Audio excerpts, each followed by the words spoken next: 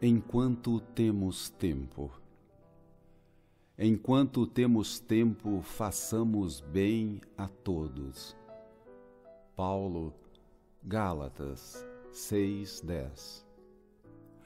Às vezes o ambiente surge tão perturbado que o único meio de auxiliar é fazer silêncio com a luz íntima da prece. Em muitas circunstâncias, o companheiro se mostra sob o domínio de enganos tão extensos que a forma de ajudá-lo é esperar que a vida lhe renove o campo do espírito. Aparecem ocasiões em que determinado acontecimento surge tão deturpado que não dispomos de outro recurso senão contemporizar com a dificuldade, aguardando melhores dias para o trabalho esclarecedor. Repontam males na estrada com tanta força de expansão que em muitos casos não há remédio senão entregar os que se acompliciam com eles às consequências deploráveis que se lhes fazem seguidas.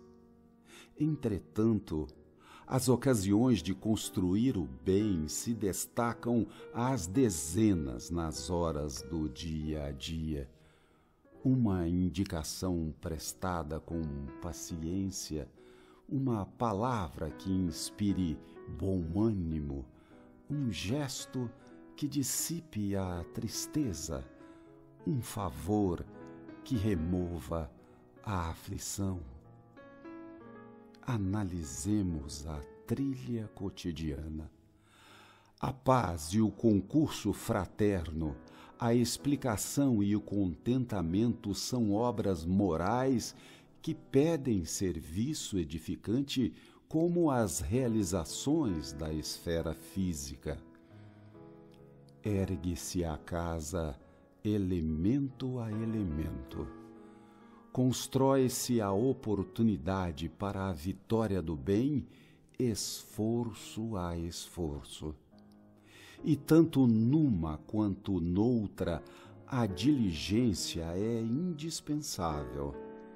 Não vale esperança com inércia o tijolo serve na obra, mas nossas mãos devem buscá-lo.